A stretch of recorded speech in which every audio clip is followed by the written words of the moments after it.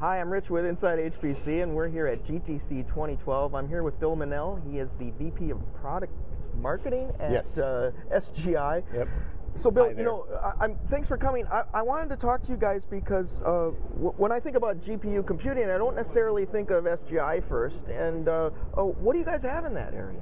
So we have a whole portfolio from rack mount systems with GPUs to bladed systems like our Altix Ice platform, all the way to uh, scale up systems like our, our UV platform. Also has a has a GPU component to it as well. So we've actually shipped some systems with Tesla as a as a uh, compute offload on our UV. So we have both scale up and scale out solutions with GPU. So that's one of the things that, that distinguishes us from, from other vendors in this space. Sure, sure. So, are, are your systems gener- they're, they're heterogeneous systems with x86, like probably Intel or uh, processors? Um, so, so we offer both AMD and Intel. In our scale-up line, uh, we actually just are based around Intel, uh, but for all of our scale-out solutions, we offer both AMD and Intel, and have shipped both actually with GPUs. Okay, okay. So so today we're here we're we're here in May 2012.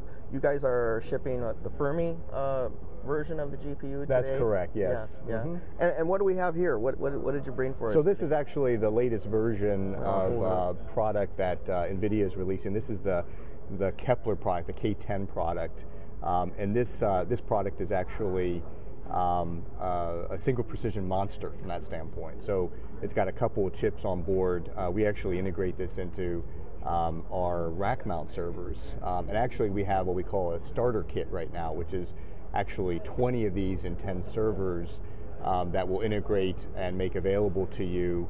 Um, it's rough. It's about 75 teraflops worth of compute in about a quarter of a rack from that standpoint. So it's pretty impressive amount Okay. of compute.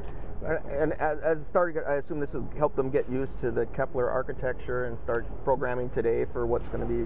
wh- When is the the Kepler uh, double precision, the K20? When are you, you know, expecting that? You know, that's probably the end of the calendar year from that Okay. standpoint. So, so we expect it to arrive then. This this particular model is available this summer from that standpoint. So, Okay. um, if you're in, if you're doing uh, image processing, radio astronomy, uh, seismic, for example, is a perfect card for you Mm-hmm. um, with um, almost um, well over over two teraflops of chip, uh, single precision capability. Okay. So, Bill, let me ask you. I mean, uh, you know, these aren't available directly from NVIDIA. You have to get them through, uh, you know, um, an OEM like SGI. Why, why SGI? I mean, what would you say if I said, why would I pick SGI as, as the vendor to deliver this kind of GPU solution? Well, because we integrate the boxes together, we provide a software stack on them, um, and we and we deliver them ready to go. We call it startup and go. You, you plug it in, and it works from that standpoint.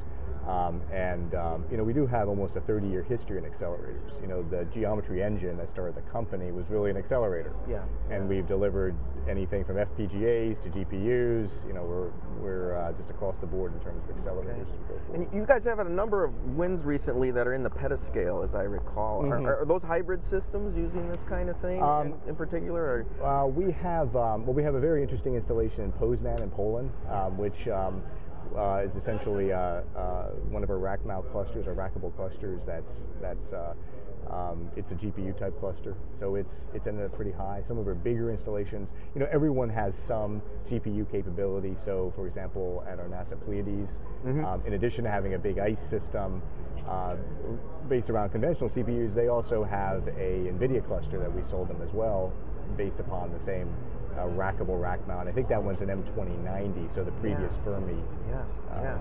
So I guess kind of a wrap up here, Bill. Uh, what's exciting about Kepler in general? I mean, especially the for the HPC guys down the road when that double precision comes comes to market.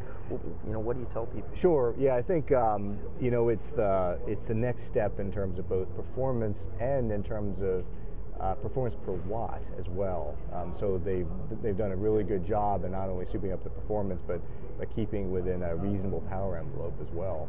Um, I think the other thing is it's it's another year of of CUDA, more applications available, all those kinds of things as well. So this is kind of coming right at the right time from that standpoint.